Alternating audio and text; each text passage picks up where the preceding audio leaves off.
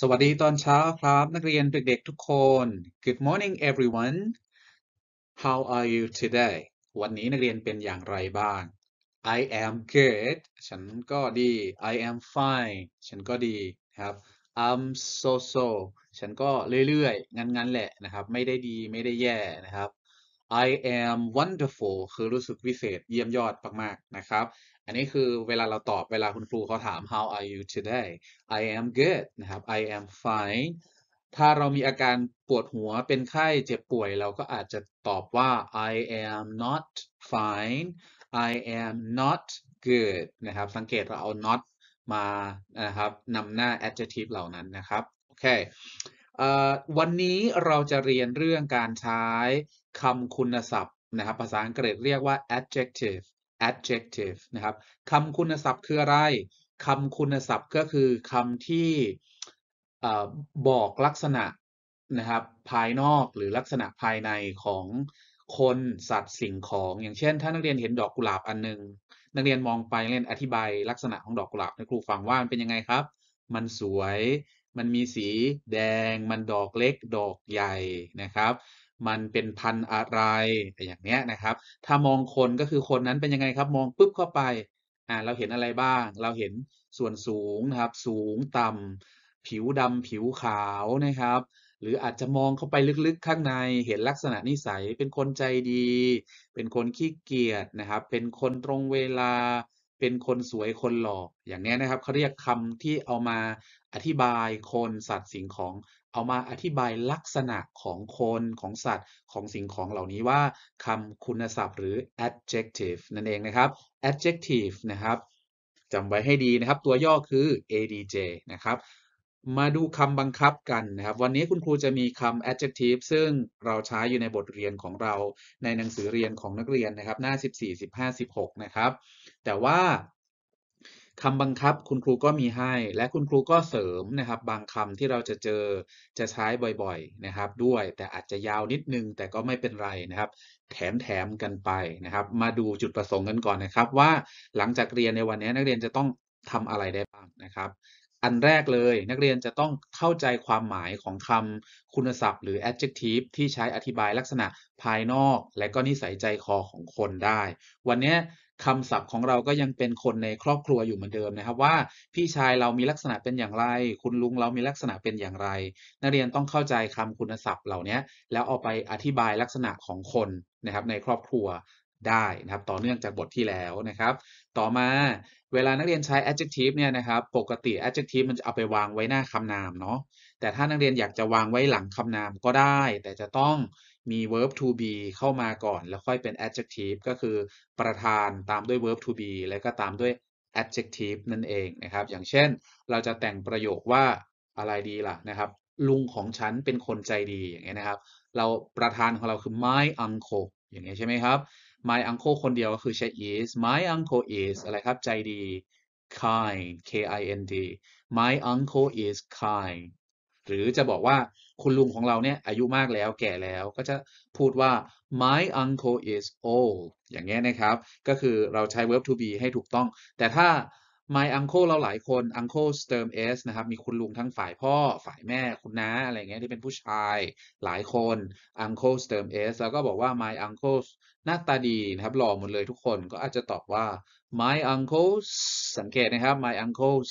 มีเติม s my uncles are ห็นไหมครับ verb to be ก็จะเปลี่ยนไปเป็นการใช้ are my uncles are handsome อย่างนี้เป็นต้นนี่คือจุดประสงค์ที่ 2 นะครับ ใช้ verb to be ให้เหมาะสมกับประธาน เวลาใช้คู่กับ adjective นะครับ อันต่อไปก็คือ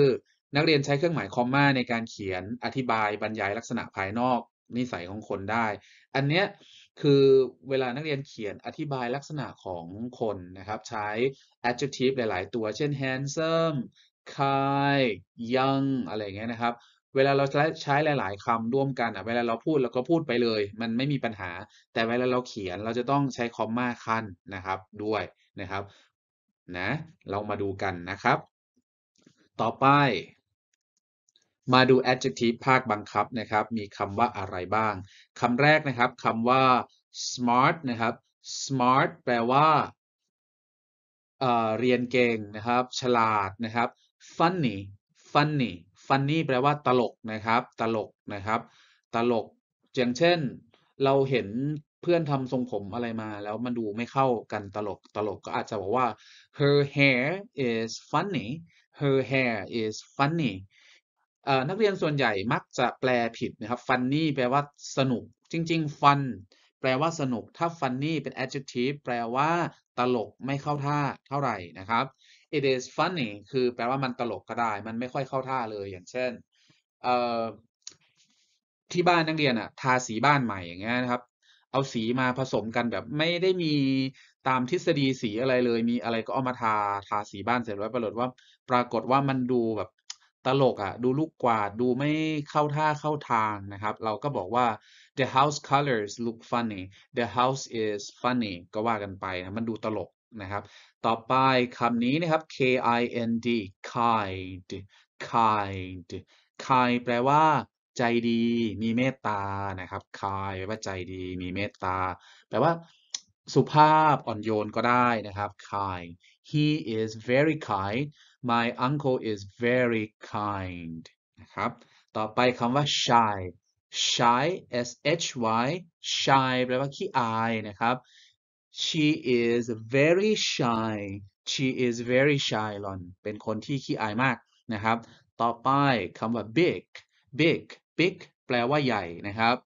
he is big เขาใหญ่เขาตัวใหญ่นะครับ อย่างนี้เป็นต้น ใช้อธิบายกับสิ่งของก็ได้นะครับ it is big มันใหญ่นะครับ ต่อไปตรงกันข้ามกับใหญ่ก็คือคำว่า small small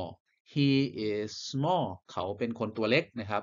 it is small มันตัวเล็ก มันมีขนาดเล็กนะครับ ต่อไป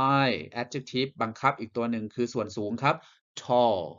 tall แปลว่าสูงนะครับ I am tall ฉันสูงนะครับ I มันจะตรงข้ามกับคำต่อไปนี้นะครับ คือ short ที่แปลว่าสั้นเตี้ยนะครับ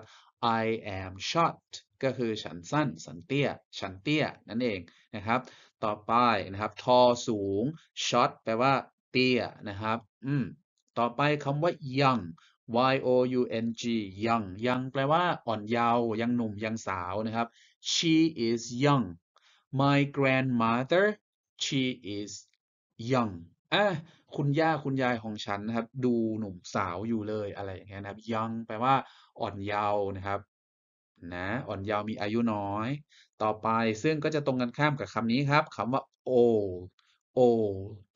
old แปลว่าแก่มีอายุมากนะครับนักเรียนจำได้เนาะนะครับ ทีนี้เดี๋ยวครูจะพานักเรียนไปฟังในเสียงของเจ้าของภาษาอีกคำหนึ่งแต่ว่าก่อนหน้านั้นมันมีคำบังคับที่คุณครูไม่ใช่คำบังคับครับคำ adjective คำที่ใช้อธิบายลักษณะของคนสัตว์สิ่งของเนี่ยนะครับ เพิ่มเติมมานะครับ คือคำว่า เหล่านี้นะครับ อันนี้นักเรียนจำได้ก็ดี ถ้าจำไม่ได้ อันนี้ก็ไม่เป็นไรนะครับ handsome handsome คำนี้แปลว่าหล่อ beautiful beautiful อันนี้แปลว่าสวยงามนะครับ lovely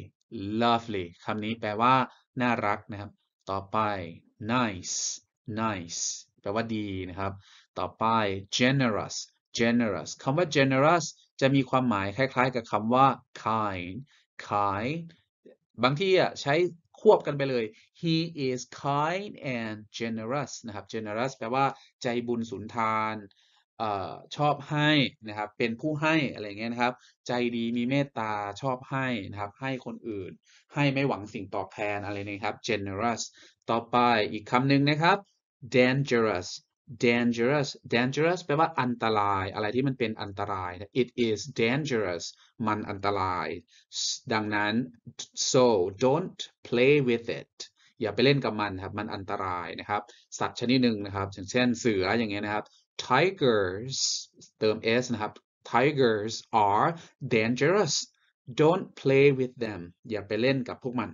นะครับ ต่อไป lazy lazy lazy แปลว่าขี้เกียจนะครับ เช่น today I am lazy วันนี้ฉันขี้เกียจนะครับ so ดังนั้น I don't go to school I don't go to school วันนี้จึงไม่ไปโรงเรียนนะครับ เป็นต้น lazy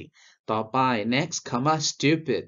stupid แปลว่าโง่ ซึ่งจะตรงกันข้ามกับ smart นะครับ แต่ว่าคำว่า stupid เนี่ยเป็น ไม่อยากให้ใช้เลยนะครับ จริงๆ เพราะมันค่อนข้างเป็นคำที่ไม่สุภาพนะครับสำหรับคนที่เป็นเจ้าของภาษาแล้วก็ส่วนใหญ่ก็จะหลีกเลี่ยงไม่ไม่ใช้นะครับ แต่ก็จะมีใช้ในเพื่อนสนิทบ้าง อาจจะมีการใช้ด่ากันบ้างอะไรเงี้ยนะครับ ซึ่งก็ไม่ดีแต่ให้เรียนรู้ไว้นะครับว่า stupid จะตรงกันข้ามกับ smart นะครับ ตรงกันข้ามกับคำว่า intelligent ซึ่งแปลว่าฉลาดมากๆนะครับอะโอเค stupid ผ่านไปเรียนรู้แล้ว ต่อไป strong strong นะครับ แปลว่าแข็งแรงนะครับ แข็งแรง he is strong I am strong you are strong my father is strong นะครับอย่างนี้เป็นต้น แปลว่าแข็งแรงนะครับ ต่อไป weak ตรงกันข้ามเลยนะครับ weak แปลว่าอ่อนแอนะครับ แปลว่าอ่อน อ่อนแอนะครับ จุดอ่อนก็ได้นะ weak I am weak ฉันเป็นคนที่อ่อนแอนะครับ ฉันรู้สึกอ่อนแอก็ได้นะครับ ต่อไปคำที่ตรงกันข้ามกับคำว่า generous อีกคำหนึ่งนะครับคำที่มีความหมายตรงกันข้ามกับคำว่า generous นะครับ generous แปลว่าใจดีมีเมตตาเอื้อเฟื้อเผื่อแผ่ให้ของให้ทานแก่คนอื่นอย่างเงี้ยนะครับ แต่คำนี้จะตรงกันข้ามนักเรียนเดาสิครับคำนี้น่าจะแปลว่าอะไรคำนี้น่าจะแปลว่า เห็นแก่ตัวนะครับคำนี้ออกเสียงว่า selfish นะครับ selfish นะครับ selfish แปลว่า เห็นแก่ตัว selfish I am very selfish I don't share my snack with my brothers ฉันเป็นคนเห็นแก่ตัวมาก ฉันไม่ยอมแบ่งขนมให้พี่น้องของฉันกินเลยอะไรอย่างเงี้ยนะครับ selfish are you selfish คุณเป็นคนที่เห็นแก่ตัวไหม ถ้าเป็นคำถามนะครับ yes I am selfish ใช่ ฉันเป็นคนที่เห็นแก่ตัว ถ้าตอบ no I am not selfish ไม่ ฉันเป็นคนที่ไม่ได้เห็นแก่ตัวอย่างนี้เป็นต้นนะครับ มาฝึกฟังนะครับ คำ adjective การออกเสียง adjective เหล่านี้ให้ถูกต้องนะครับ จากเจ้าของภาษา คุณครูจะให้นักเรียนฟังสองรอบนะครับ now you have to listen นะครับ for the these adjective for two times I will play the audio two times คุณครูจะเล่นไฟล์เสียงให้เรียนฟังสองรอบ พร้อมแล้วนะครับไปฟังกันเลย Track 1-14. smart, smart, funny, funny, kind, kind, shy, shy, big, big, small, small, tall, tall, short, short, young, young, old, old. อ่าไม่เป็นไรฟังรอบเดียวก็ได้นะครับ น่าจะออกเสียงได้แหละนะครับ กิจกรรมต่อไป เดี๋ยวจะให้นักเรียนลองฟังประโยคนะครับจากออดิโอนะครับจากไฟล์เสียง แล้วให้เรียนจับคู่นะครับว่าอังโคเราเนี่ยเป็นคนแบบไหนอังโคคุณลุงเป็นคนยังไง smart funny tall หรือว่า kind นะครับ ต่อไปก็ brother เราเป็นคนที่เป็นยังไงครับ พี่ชายเราเป็นคนที่ smart funny tall หรือ kind หรือ อะไรนะครับ grandmother มีลักษณะเป็นอย่างไร funny tall kind หรือว่า smart my cousin ลูกพี่ลูกน้องของเรานะครับ เป็นคนที่มีลักษณะเป็นยังไงนะครับ smart funny tall kind นะครับ ให้นักเรียนลองโยงนะครับว่า uncle คู่กับอะไร ลองฟังคีย์เวิร์ดนะครับว่า uncle เนี่ยมันมีคำ adjective คำไหนอยู่ในประโยคของ uncle ลองฟังดูนะครับหนึ่งรอบเนาะนะครับ เพื่อเป็นการประหยัดเวลา ถ้านักเรียนฟังไม่ทันนักเรียนหยุดวิดีโอแล้วก็ฟังซ้ำได้เนาะ โอเคครับอ่ามาเริ่มฟังกันเลยนะครับ Track 1-15. Number 1. That's my uncle. uncle. He's a police officer. He is very tall. Number 2. He's my brother. He is funny. Number 3. She's my grandmother. She is so kind. Number 4. She's my cousin. She is smart. ทันเนาะ uncle นะครับ he is my uncle he is a police officer he is tall นะครับได้ยินเพราะฉะนั้น uncle จะคู่กับคำว่าอะไรครับ uncle จะคู่กับคำว่า tall นะครับ my brother คู่กับคำว่าอะไรครับใครฟังท่าน brother อ๋อ my cousin คู่กับ smart นะครับ แล้วก็ brother funny my brother he is funny my grandmother she is kind นะครับ ครบแล้วนะครับ ต่อไปนักเรียนลองฝึกเติมคำเหล่านี้ลงไปนะครับ ในช่องว่างกิจกรรมข้อที่ 3 My grandfather is จุดจุดจุดอะไร พยายามใช้คำที่มันเป็นคู่ตรงข้ามนะครับ ให้ใช้คำที่เป็นคู่ตรงข้าม adjective ที่เป็นคู่ตรงข้าม My grandfather นะครับก็คืออคุณปู่ของฉันนะครับ My sister is อะไรคำตอบอาจจะมีได้หลากหลายนะครับ ยกตัวอย่างเช่น กรณีนี้ คุณปู่ของฉันเป็นยังไง My father is old คุณปู่ของฉันเป็นคนที่มีอายุมากแล้วนะครับ My sister แล้วน้องสาวของฉันล่ะเป็นคนที่เป็นยังไง น้องสาวของฉันอาจจะเป็นคนที่อายุยังน้อยๆอยู่ ยังอ่อนเยาว์อยู่ ใช้คำว่า young My sister is young อย่างนี้ก็ได้ หรือเราจะใช้อย่างอื่นก็ได้นะครับ ไม่มีผิดไม่มีถูกขอให้แต่เป็น adjective นะครับ ต่อไปตัวอย่างข้อที่ 2 our dog is เป็นยังไงครับ เมื่อเปรียบเทียบกับแมว นักเรียนดูภาพนะครับ dog ของเราหมาของเรากับแมว ตัวไหนใหญ่กว่ากันครับอ่า dog จะใหญ่กว่า เพราะฉะนั้นเราอาจจะบอกว่าหมาของเราใหญ่ our dog is big our cat is เป็นยังไงครับ แมวของเราเป็นยังไงเมื่อเปรียบเทียบกับหมา small นะครับแล้วก็ใส่เข้าไป our cat is small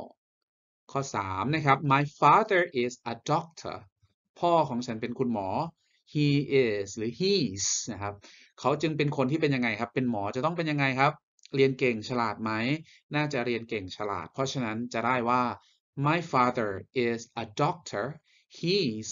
smart he is smart นั่นเองนะครับ สังเกตนะครับ ประธานที่เป็น he she it ชื่อคนคนเดียวเราจะใช้ is verb to be ที่ใช้คู่นะครับ เราจะใช้ is นะ ถ้าประธานเป็น I verb to be ที่ใช้คู่กับ I คือ am ถ้าประธานเป็น you we they หรือหลายคนเราจะใช้ are นะครับ แล้วค่อยตามด้วย adjective นะครับ เช่นข้อ 4 my mother is a singer แม่เป็นนักร้อง เพราะฉะนั้น she is not อะไรหล่อนจึงไม่อะไรครับ ไม่เป็นคนที่เป็นยังไงครับ จากคำศัพท์ที่เราเรียนมา แม่เป็นนักร้อง แม่จึงน่าจะเป็นคนที่เป็นยังไงครับ ไม่อะไรไม่อายคำว่าขี้อายนะครับเป็นยังไงครับ ถ้าเป็นขี้อายแล้วไปขึ้นเวทีร้องเพลง ให้คนฟังอะ มันก็ไม่ไม่ได้เนาะจะต้องกล้าแสดงออกจะต้องไม่อาย she is not อะไรนั่นเองครับ shy she is not shy แม่เป็นนักร้องจึงไม่อายอะทีนี้เราไปดูนะครับ grammar นะครับ การใช้การใช้ verb to be กับ adjective คำที่อธิบายคุณลักษณะของคนสัตว์สิ่งของเหล่านี้ว่าใช้ยังไงกัน ต่อไปมาดู grammar นะครับที่เราจะเรียนนะครับก็คืออการใช้ verb to be และก็ตามด้วย adjective ที่เราต้องการใช้เรียนดูตารางประกอบเลยนะครับ verb to be I เราใช้ am ใช่ไหมครับ ส่วน he she เราใช้ is ตามตารางเลยนะครับ ส่วน you we they เราใช้ are นะครับ คู่กันแล้วก็ตามด้วย adjective ที่อธิบายลักษณะคนคนนั้น อย่างเช่น I am ฉันเป็นคนฉลาดก็จะพูดว่า I am smart he is อะไรครับ เขาเป็นคนที่ดูตลกตลก he is funny นะครับ หล่อนเป็นคนที่สูงก็จะพูดว่าอะไรครับ she is tall they are short they are short พวกเขาเป็นคนที่เตี้ยนะครับ we are family พวกเราเป็นครอบครัวเดียวกันนะครับ we are family นักเรียนลองฟังเสียงจากในเทปนะครับ Track 1-17. I am. I am smart. He is. He is funny. She is. She is tall. They are. They are short. We are. We are a family.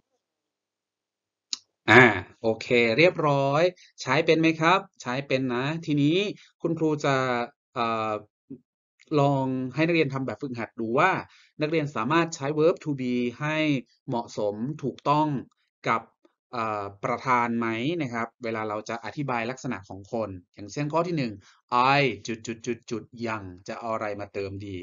I am I is หรือ I are นะครับ เดี๋ยวพอนักเรียนจบวิดีโอนะครับ แบบฝึกหัดนี้จะอยู่ใน Google Form ข้างล่าง ให้นึก6ข้อนะครับ 6 ข้อ 6 คะแนนนะครับ เป็นแบบ multiple choice นะครับ และนักเรียนเลือกตอบอใช้ verb to be ให้เหมาะสมนะครับ อย่างเช่นข้อ 4 ประธานเราเป็น my sister and I มีเชื่อมด้วย and แสดงว่าคนเดียวหรือหลายคน หลายคนอย่างเงี้ยนะครับ verb to be ที่จะใช้กับหลายคนเราใช้อะไรนะครับโอเค สำหรับวันนี้มีเพียงเท่านี้นะครับ see you again next time bye for now